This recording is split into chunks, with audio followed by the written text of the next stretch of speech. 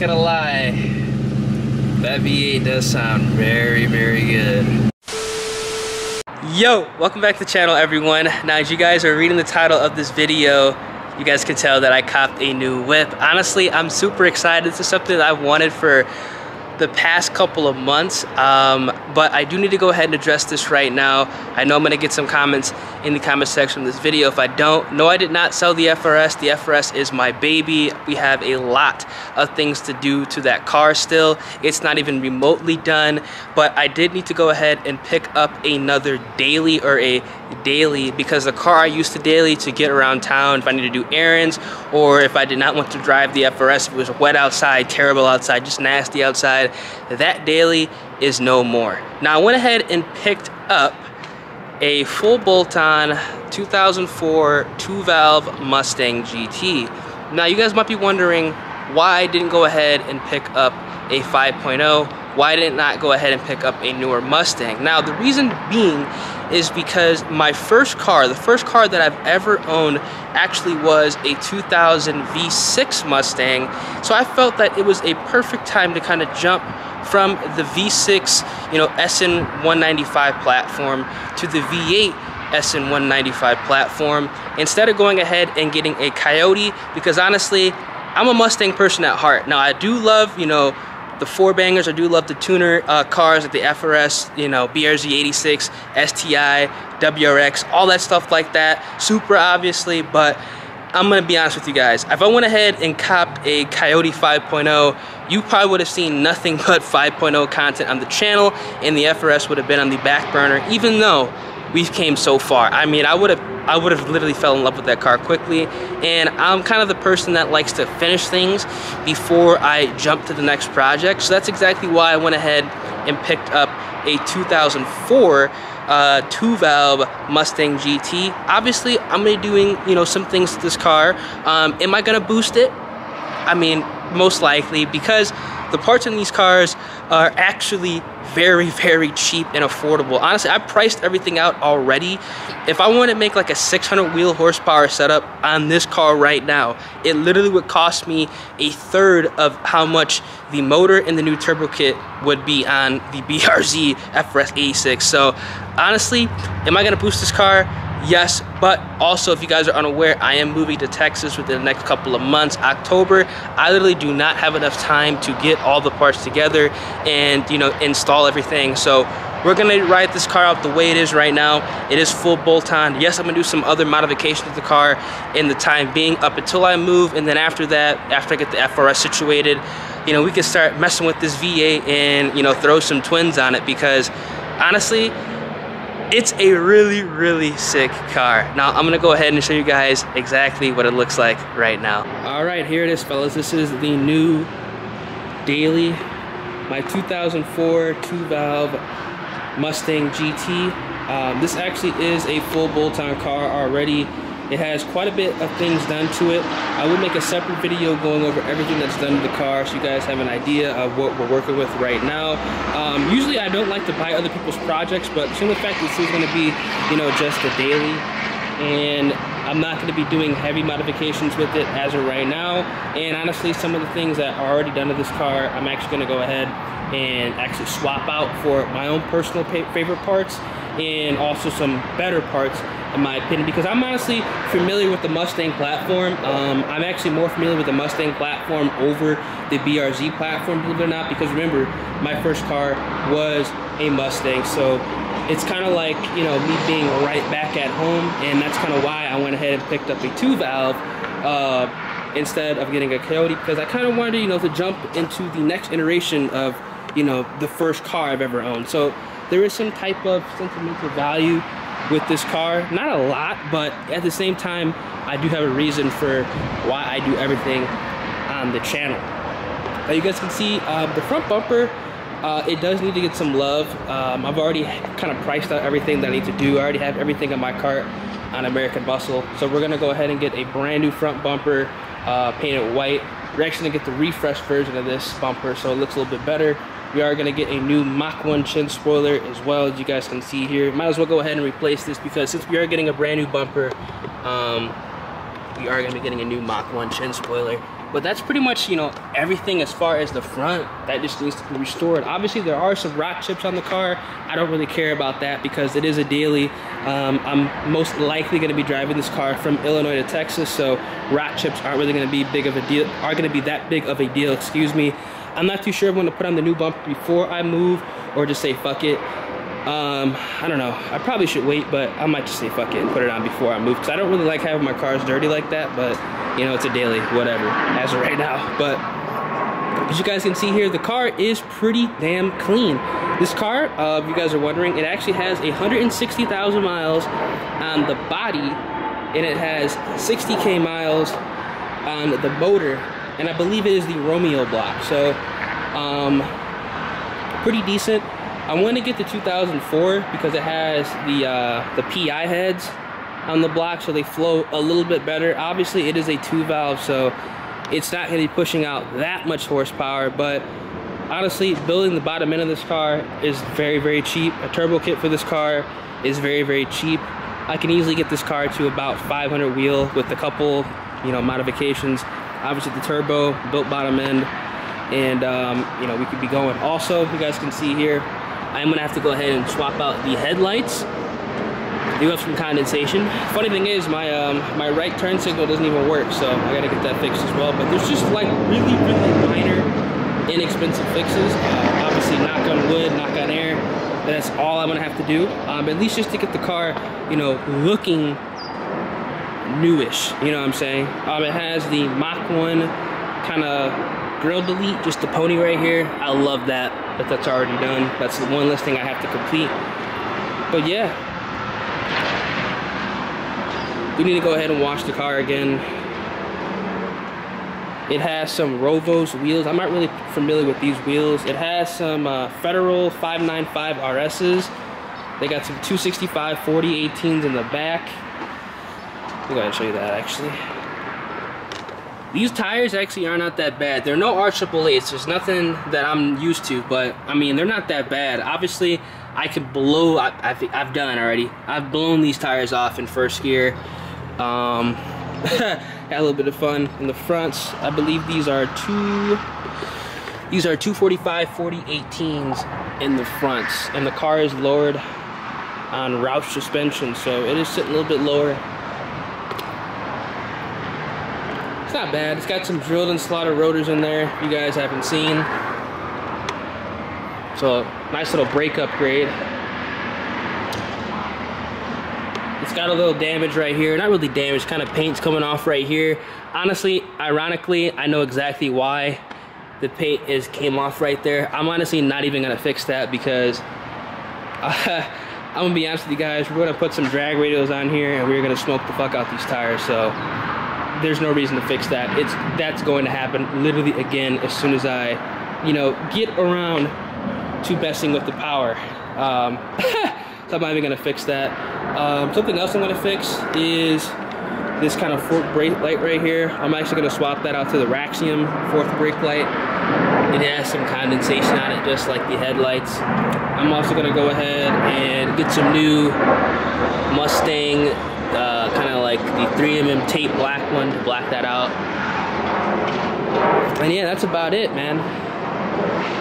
Just need to get a good detail, a good wash, 5% window tint all the way around. And it's gonna look nice. That's kind of why I want to get a white Mustang. I, I like the white Mustangs. And honestly, I like white cars in general because I'm a pretty basic, clean person when it comes to cars. I just like, to, like my cars looking clean.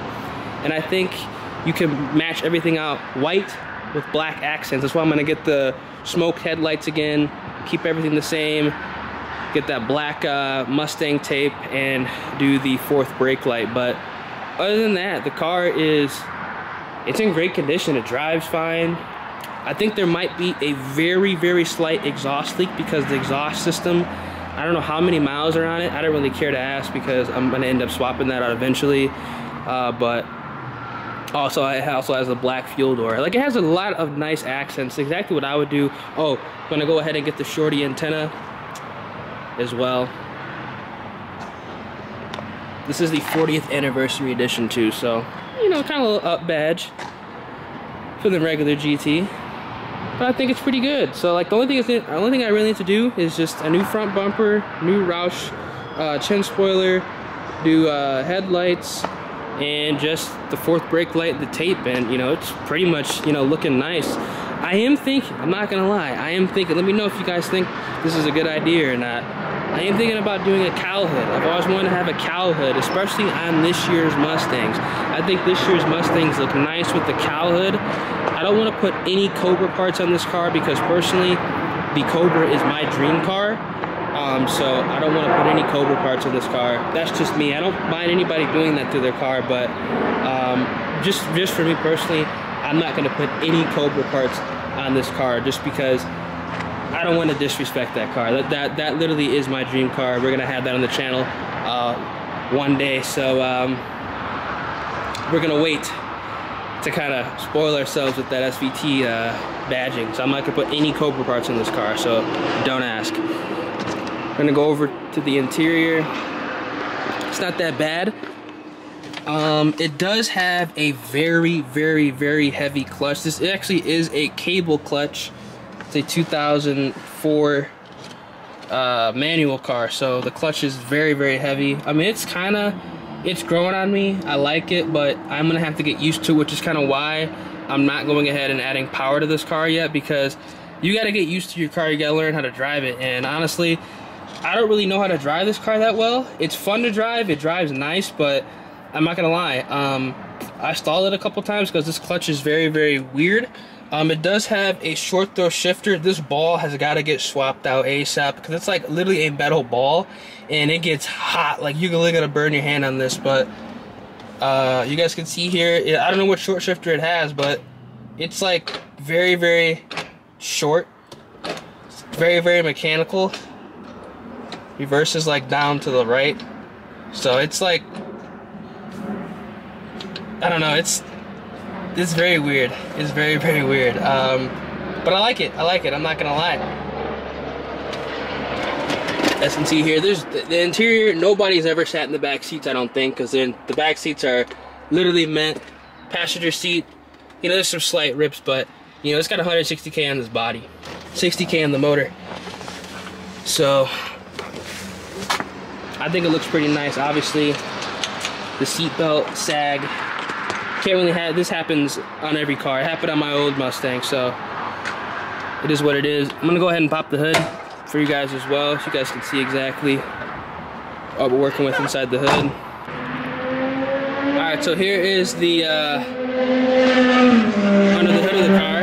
Um, somebody's hauling. I do gotta go ahead and clean out this uh, engine bay. The engine bay is dirty. I don't know the last time this engine bay's been cleaned out, but I mean the car drives strong, so is what it is. You guys can see here we got a BBK throttle body. We have a BBK cold air intake. I believe this is a 74 millimeter throttle body, if I'm not mistaken. Um, don't go too crazy, but does have a BBK throttle body. Um, you guys can see down there, it does have, I don't know if you can see it, but it has BBK shorty headers which are going to be swapped out to some uh, Kooks long tube headers. As soon as I get around to messing with the exhaust and the, you know everything to do with the car, I will be swapping that out to the Kooks long tube headers. Um, it does have a, I believe, a uh, BBK off-road X pipe. Um, for the mid pipe section, has an off-road X pipe and then it has a Magnaflow Magnapack exhaust. So it's not that bad. Um, it does have the Trick Flow. I'm sorry, no, it has the Trick Flow cold air intake, not the BBK cold air intake. It has the Trick Flow cold air intake. I believe it does have Trick Flow heads as well on this car. I think there is some slight motor work to this. I believe it has Trick Flow heads. Uh, I gotta look at the uh, the sheet that the guy gave me, but it's pretty decent. It's a pretty decent bolt-on setup. Um, obviously, like I said, we're gonna swap this out for the BBK. Uh, not BBK. We're gonna swap this out for the Kooks long tube headers. We're gonna swap this out for the Kooks um, off-road X pipe or the off-road H pipe. If I can find an off-road H pipe, we're gonna go with that. But I mean, the EPA is cracking down, so you only can find catted X pipe. So worst case scenario, we'll just go with the uh, the Kooks catted X pipe, and then for the exhaust, I actually kind of like the exhaust. It's actually not loud when you don't want it to be loud, but when you do get on it, it is pretty loud. Um, my friends told me that it, it, it you can hear the car like six cars up, so Sounds good though. Cruising around it sounds good. I will eventually do a POV video on the car, but I kind of want to show you guys exactly, you know, the new daily on the channel. I'm gonna go ahead and fire up the car right now so you guys can hear what it sounds like.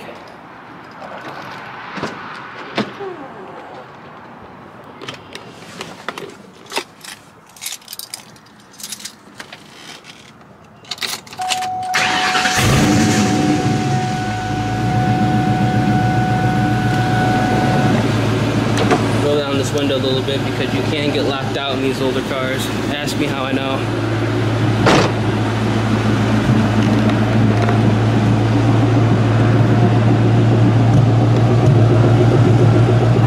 Has that nice kind of like rumble to it. Like a deep growl. That's what I like about these two valves. Personally, I like the way the two valves look and I like the way the two valves sound.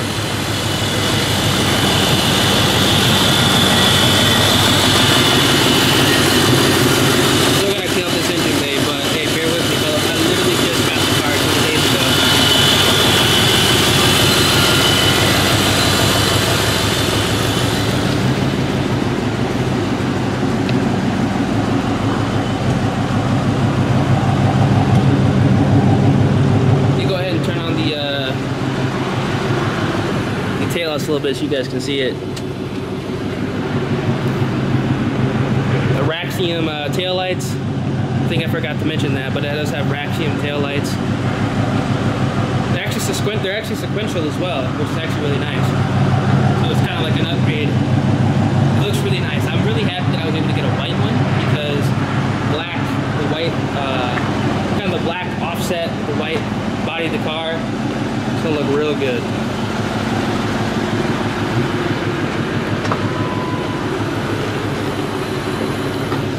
Rev this up real quick for you guys.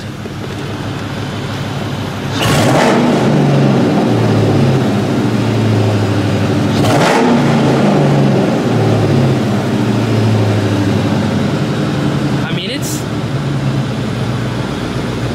it, it, I mean, it's kind of loud. I'm not gonna lie, it's kind of loud.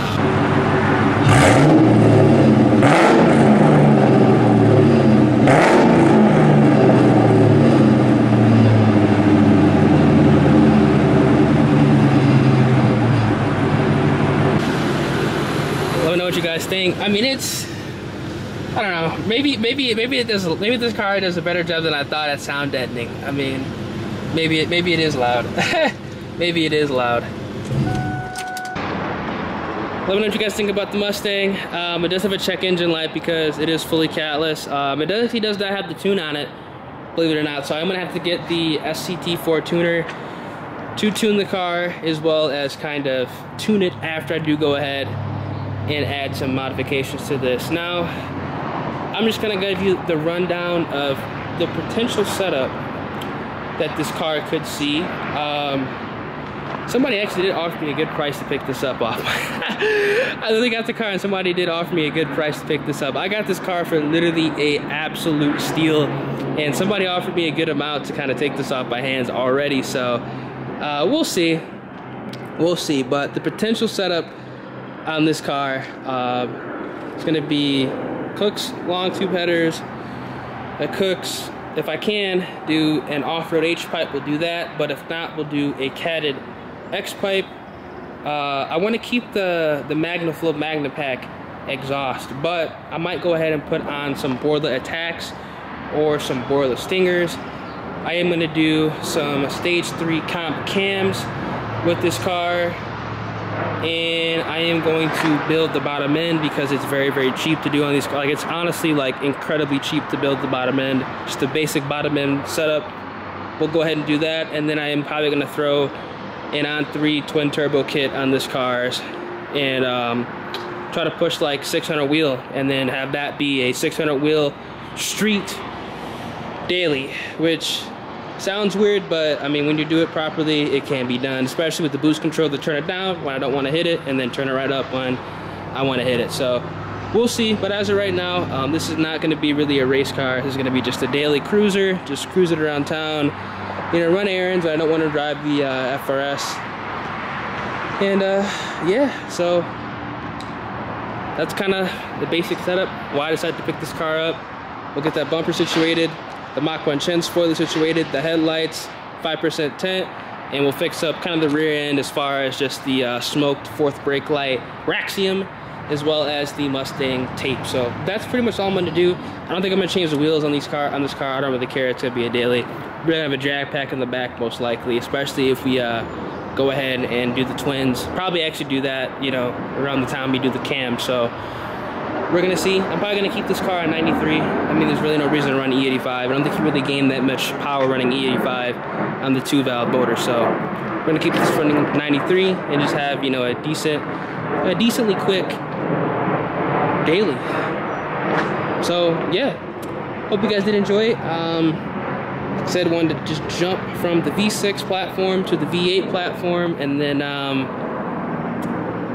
either jumping from this platform to the Coyote or the Cobra depending on uh, you know depending on what I'm feeling like.